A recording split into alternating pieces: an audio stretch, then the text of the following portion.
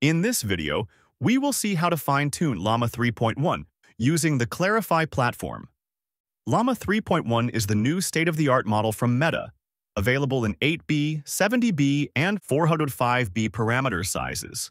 Llama 3.1 405B is the first openly available model that rivals the top AI models in general knowledge, steerability, math, tool use, and multilingual translation. The upgraded versions of the 8B and 70B models are multilingual, with a significantly longer context length of 128K and overall stronger reasoning capabilities. The 8B Instruct model is available on the Clarifai platform. You can try it out or access it via an API. Instead of using frozen general-purpose LLMs, you can fine-tune models like Llama 3.1 for your specific use cases to achieve better performance and customizability at a lower cost. In this video, we will see how to fine-tune the Llama 3.1 8B Instruct model for your own use case using the platform. One of the best aspects is that you do not need to set up the models or install libraries and get stuck fixing those issues. Everything we do here in this video is no code using the platform. All you need to do is upload your data. Select the pre-built Llama 3.1 fine-tuning template. Customize parameters such as the number of epochs, quantization, and other settings, and train your model. But before that, if you are new here, let's get a quick introduction to Clarifai. Clarifai is an AI workflow orchestration platform that helps you quickly build, manage, and orchestrate AI workflows across your organization, reducing the time it takes to go from prototype to production. The platform provides the control to centralize and standardize AI application templates, resources, workflows, and datasets while enabling you to run any model, including foundation models, LLMs, vision models, and custom models. It also facilitates data integration from diverse sources, ensures robust security to protect sensitive information, and allows deployment in any environment, cloud, hybrid, on-premises, and more scaling automatically and cost-effectively. Now let's get an overview of fine-tuning and why it is necessary.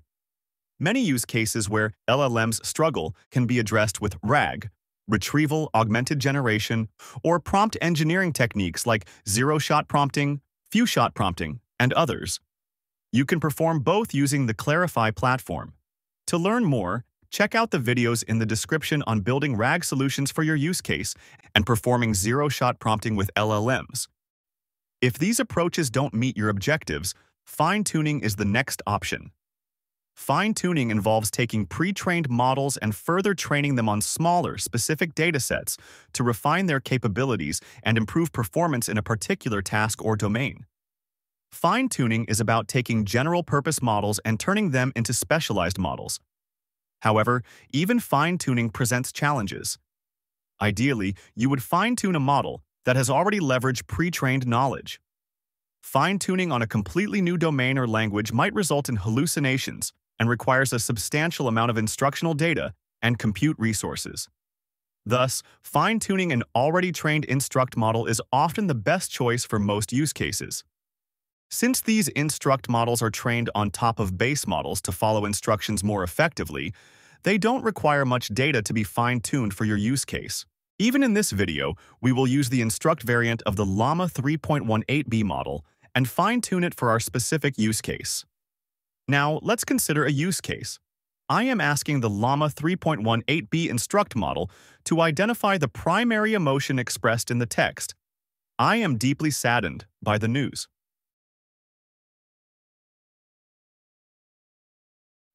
The model's response indicates that the primary emotion is sadness, along with some additional information.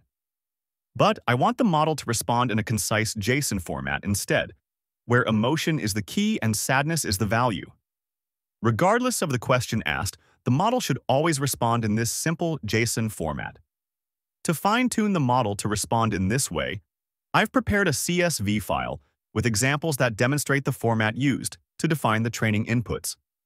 It is essential that the examples follow this specific format, which includes the system instruction, input, and target response, along with start and end headers and text IDs.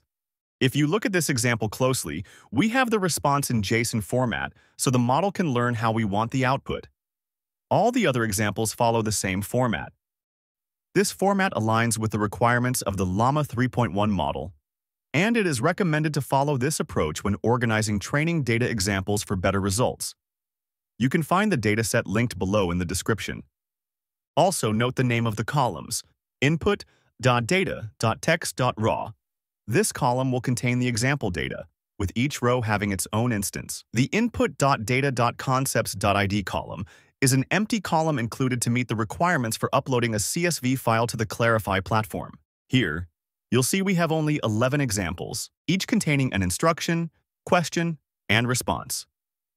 But it's recommended to include more examples for better performance. Let's upload this CSV file to the platform and start fine-tuning the model. First, sign up on the platform and log in. This is the page you see when you first open the portal. Let's create a new app. Apps are the basic building blocks for creating projects on the Clarifai platform. Your data, annotations, models, predictions, and searches are all contained within applications. Apps also act as your vector database. You can start with a blank app or use the app templates, which are pre-built blueprints that provide a starting point for creating your own applications. Let's create a blank app, provide an app ID and a short description. Select the primary input type, whether it's image or text data. Since we are working with text, make sure to select text. In the advanced settings, you can choose the base workflow and then create the app. Let's leave this to the default text workflow. Here is the app. You can see the inputs, datasets, models, workflows, and modules within the app. This is the input section where you can upload the inputs. Let's upload our CSV file. Add a dataset name and upload the data. I am naming this as dataset llama. and then uploading the file. You can see that the CSV file with all the inputs has been uploaded. Now that we've uploaded the data for fine-tuning, let's get started. Go to the Model section and click the Add Model button in the upper right corner of the page. You'll see various options, selecting a model from the community, building a custom model, importing a model from Hugging Face, or uploading your own local model. Note that the last two features are only available to enterprise users. Select the Build a Custom Model option and click Continue. Next, choose the type of model you want to fine-tune. You can perform transfer learning or train different visual models, such as classifier, detector, segmenter, and others. But since we're focusing on fine-tuning an LLM, select the Text Generator option under the Text-to-Text -text model type. Now here, provide a model ID and select the dataset we uploaded for fine-tuning.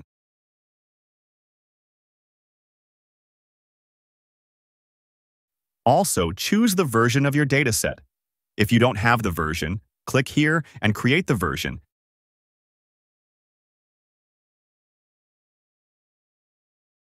Now let's refresh it. This is the version that has been created. Let's select this version.